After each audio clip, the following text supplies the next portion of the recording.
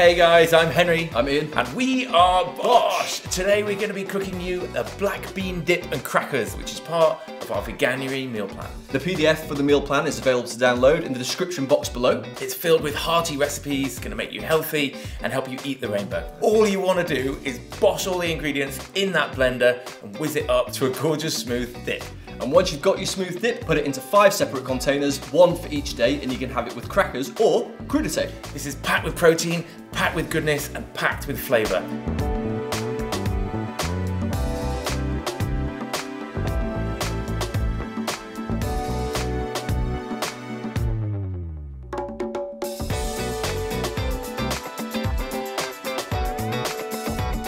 We're both crackers. I've got celery, he's got a cracker. Let's have a dip. It looks the real deal. Mmm. Mmm. Whoa.